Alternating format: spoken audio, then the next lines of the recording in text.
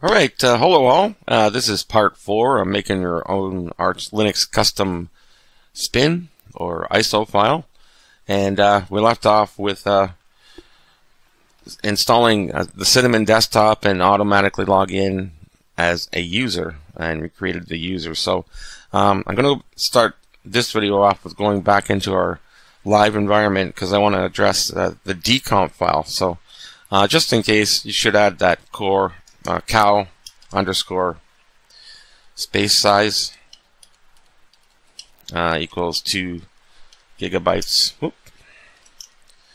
Just in case we need to, what is wrong with me today? Uh, just in case we need to add some more packages and so we don't run out of room. So I'll just press enter and uh, log into the Cinnamon uh, desktop. So in order to use the shared clipboard, because we really need that between VirtualBox and our guest system, our host system, uh, we'll need to resynchronize our mirror lists and our database, and then install the Linux dash headers from Pacman to load a VirtualBox, modprobe vboxsf, log in, I mean log out and then log back in, and uh, we'll have uh, our shared clipboard.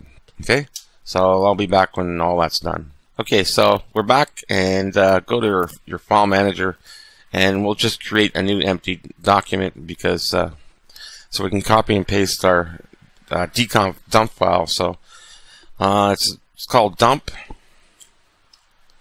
dot dconf. Okay, and we'll just uh, open that up and hopefully our shared clipboard's working. Uh, I saved mine. Hopefully you shared saved yours in documents and this is a dconf dump file from the last time. So control C and we'll go to this and paste that in. We'll save and close. So let's uh, open a terminal again because opening terminal here won't work yet. LX terminal. As long as you're in your home folder in this case live user. And the command is uh, backwards uh, there it is here. dconf load and the slash your home directory and the arrow is pointing the other way. Okay, so we'll copy and paste that in and press enter and see what happens. There we go. All the settings uh, that we had, such as the Numix theme, the transparency, and everything for the terminal, uh, the single click, and our keyboard functions uh, Control Alt T, Alt H, Control N are all working. From here, we have to create uh, an executable file along with a desktop uh, desktop uh, auto start entry. So let's go to our file manager, Nemo in this case, uh, slash dot config. And since there's nothing in auto start, there's no folder yet. So we have to create a new folder, auto auto start open that one up and just a new text document. And we'll just name it spice theme. You can see that. It's really hard to see that. It's spice theme dot desk top. Okay. Obviously it's empty so we'll open again with our text editor. And we'll just take this theme entry desktop entry. I'm just going to copy it and uh, paste it in and we'll just uh, basically rename uh, name spice desktop theme and we'll call this spice theme. Oops I'm sorry so sorry. Spice theme. If you notice it says just exact spice theme. So what I usually do is throw the uh, script into USR bin so it'll pick it up automatically. So we can save this and close it out. In order to do that, we have to open a terminal, and uh, the dconf is, uh, you can see it's right here.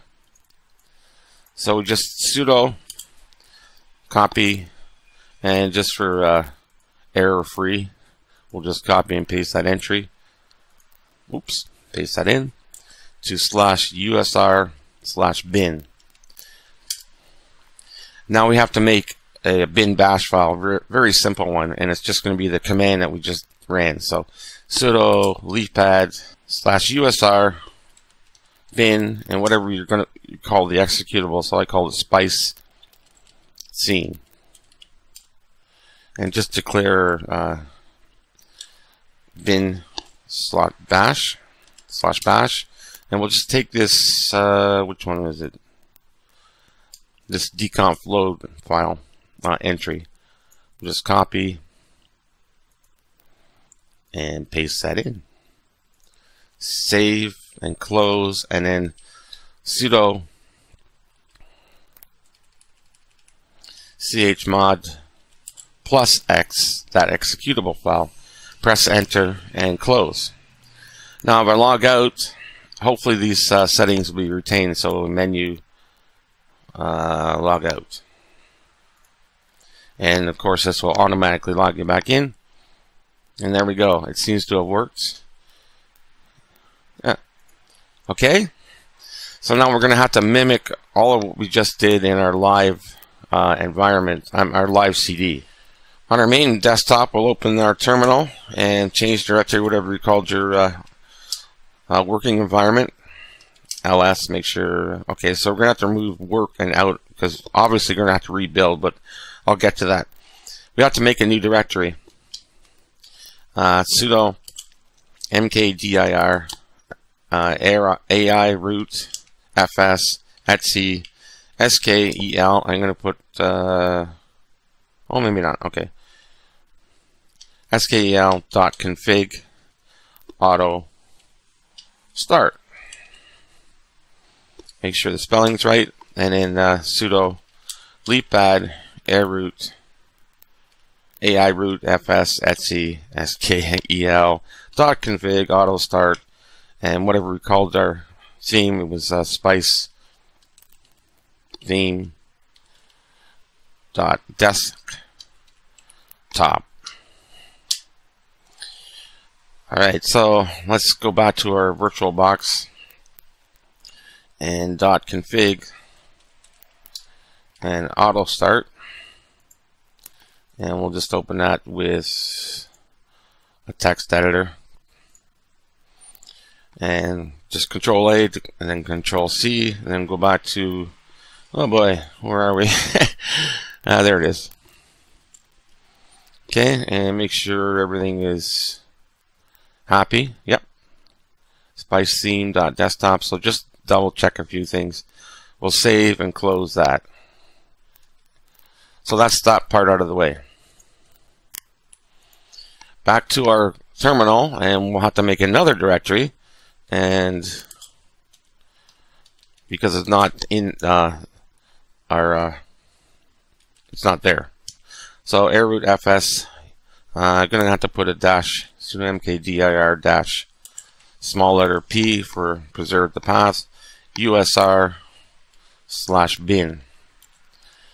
Okay, and then sudo leafpad airootfs usr bin spice theme. And same idea uh, slash bin slash bash. And again just to make it uh, error free or close to it uh, open our terminal sudo leafpad usr I think you get the idea here. Bin, uh, spice, theme, and just copy that line. Actually, didn't really need to do much there, but Control C, and there we go. Save and close. And we'll go back to our home terminal. And we're to, again, we have to make that executable. Mod uh, plus X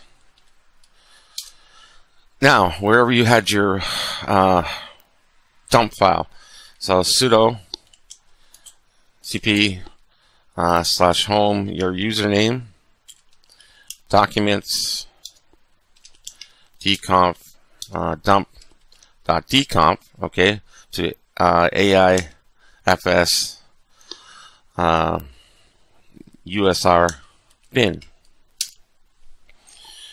All right, so hopefully that'll pick up when we build our ISO and when we after we rebuild it'll have the, all our, our uh, settings intact for the Cinnamon desktop. So everything went well this time. Uh, 744 megabytes, as you can see, or hopefully, there you can see.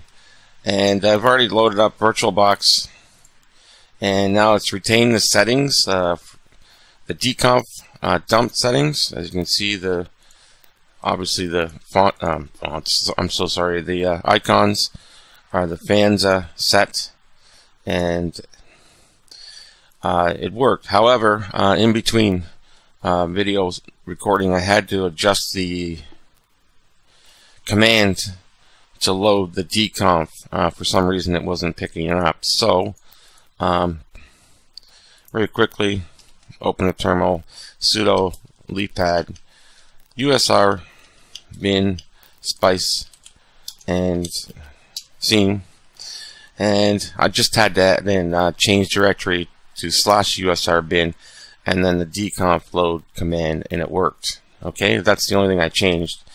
And I also added a few more packages uh, such as uh, mlocate to uh, uh, just a search through command line. So to update that it's sudo update tb and locate uh, dump .dconf, for example. There, it's showing me where it is in USR bin.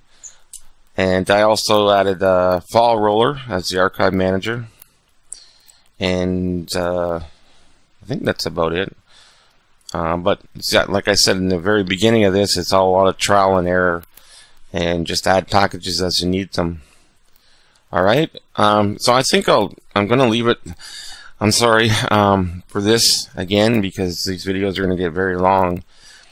And uh, I'll the fifth and final, hopefully the fifth and final part will address the PacBang installer customized for your installation. Okay.